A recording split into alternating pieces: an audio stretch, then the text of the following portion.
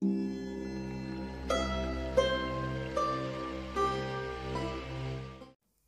привет! Я рада, что вы зашли ко мне на канал. Ну что, готовы рисовать горы? Сегодня я выбрала несложный сюжет и также поэкспериментируем с кистью щетина. Сейчас на экране появится референс и уже готовая работа. Также список материалов, как всегда, вы найдете в описании под видео.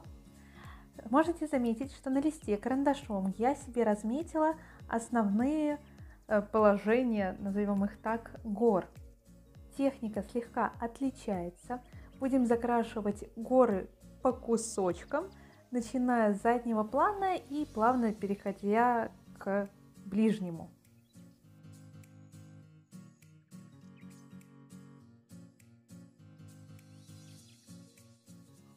Первым этапом с помощью синтетической кисти, круглой или плоской, неважно какая, закрашиваем первый участок дальний.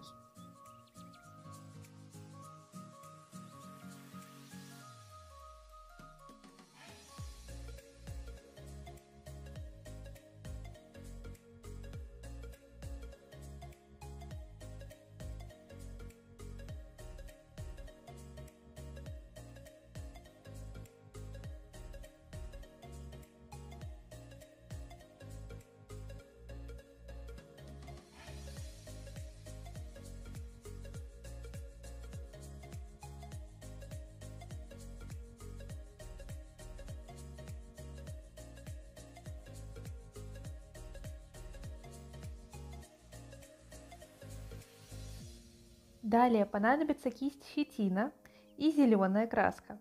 Смешиваем зеленую с черной на палитре и кистью щетина с помощью таких постукивающих движений начинаем намечать зелень. Это самый, наверное, быстрый и легкий способ нанести буквально за несколько тычек, назовем их так, сразу много зелени. Также еще синтетическая кисть понадобится нам для того, чтобы сделать намеки на водопад. В первом случае используем серый цвет, в остальных будет белый и голубой. Затем продолжаем работать кистью щетина.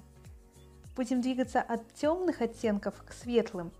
То есть первый тон это смесь зеленой краски с черной, второй тон смесь зеленой краски с желтой, и третий завершающий это желтый или желтый, слегка разведенный белым цветом.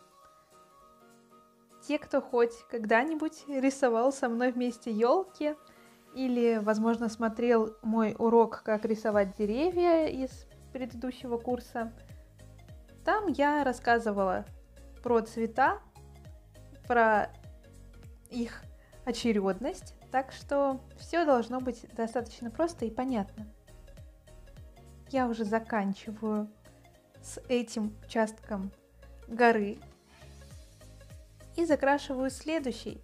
Так мы будем продвигаться с вами в три этапа всего лишь. Каждый следующий кусочек работы слегка перекрывает предыдущий. Но делаем все по одинаковой схеме. Закрашиваем черным, Потом добавляем воду, также с помощью синтетической кисти. Потом берем кисть щетину и наносим зелень в 3-4 этапа. Я думаю, что дальше могу не комментировать все, что происходит. Вы будете прекрасно э, видеть на экране и просто повторять. Если для вас слишком быстро, не забывайте, что в настройках вы можете изменить скорость видео, поставить на паузу в нужных моментах. Только дам совет, когда рисуете зелень, не старайтесь полностью перекрыть черный цвет. Пускай в некоторых местах он останется, и как раз не надо будет прорабатывать тени. В самом-самом конце работы можете использовать синтетическую тоненькую кисть, чтобы прорисовать отдельные листочки, веточки, если вам захочется. Не забывайте про детали, которых можно добавлять сколько угодно.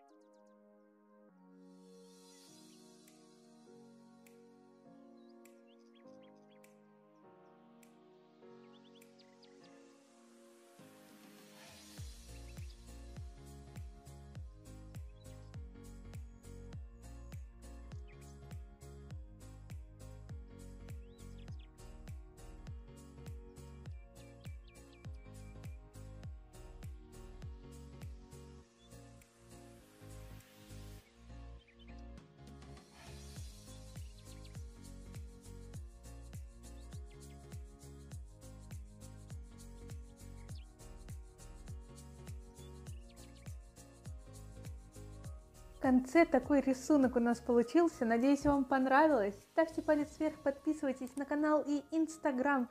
Выкладывайте свои работы в группу ВКонтакте. Если остались какие-то вопросы, не стесняйтесь, пишите в комментариях. До встречи в новых видео. Пока-пока!